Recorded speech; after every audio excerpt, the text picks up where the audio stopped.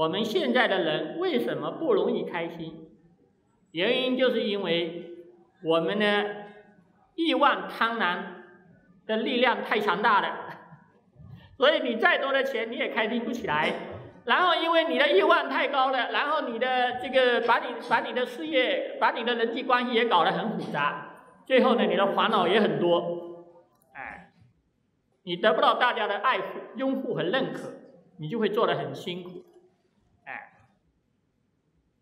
所以这个是，这是，这是我们回归自然，就是要回归到一种简单的生活，简单的生活才是健康的生活。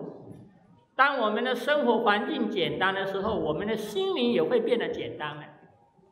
心灵简单的时候，就是最容易幸福的时候。心里边没有东西的时候，就是最幸福的时候。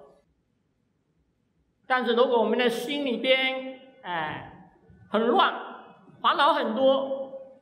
很复杂，就是我们不容易幸福。所以小孩子为什么容易幸福呢？为什么容易快乐呢？因为小孩子的心比较单纯，一方面他容易满足，另外一方面他内心附带的烦恼很少，所以当他遇到一件事情，他可能可以全身心的去开心，每一个细胞都开心。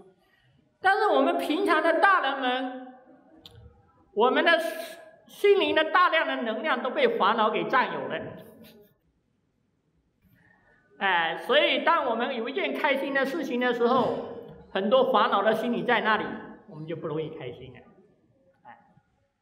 所以要过一种简单的生活，才是一种环保的生活，才是一种健康的生活。